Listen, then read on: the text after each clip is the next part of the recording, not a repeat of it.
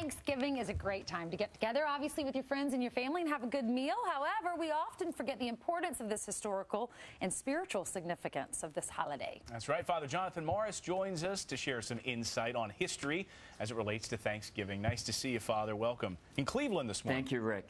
Yes, and the first thing I'm grateful for this morning is that after nine years of eating pasta in Rome, Italy, as good as that is, today I will be having turkey with the family. So good to be with you all. Very nice.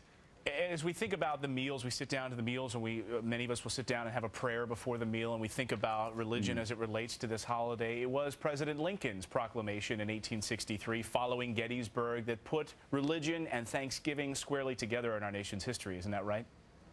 That's right, Rick. And you know what? It goes all the way back to, uh, first of all, obviously the Pilgrims in 1621. And then you look at George Washington, right? In 1789, these were his words. This is George Washington now. He says, We are devoting this day, right, to the service of that great and glorious being who is the beneficent author of all the good that we have.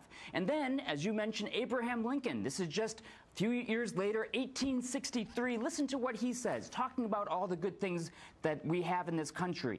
They are the gracious gifts of the Most High God, who, while dealing with us in anger for our sins, can you imagine a president, talking, president of the United States talking about sin? My goodness, has nevertheless remembered mercy. So we, we have here a trajectory of history in which we recognize God as the author of all these good things. Quite amazing.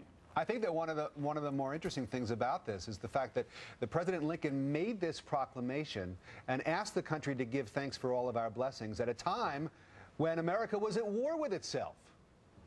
That's right. You know what? And you look back on all three of those proclamations that we talked about. The pilgrims, look what they were suffering, and yet they gave thanks to God. Then we look at George Washington. They had just come from all of this war, and then Abraham Lincoln with the fighting and the country from north to south divided, and yet they saw the mercy of God. You know what? I think it's very similar to our own lives, our own families.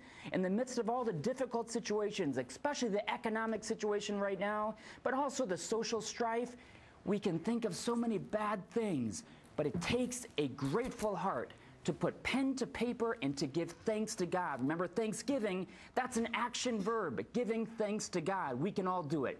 Finding some context in the midst of not always easy times. Yeah, well, we have so much to be thankful for, especially being here in America. We, we're grateful for you too, Father, Father Jonathan. Oh, you guys, thanks so much. Thank you. Happy for all the Thanksgiving. time Enjoy, together this year. enjoy your family uh, out there in Cleveland. Absolutely. Thank you very much. Well, they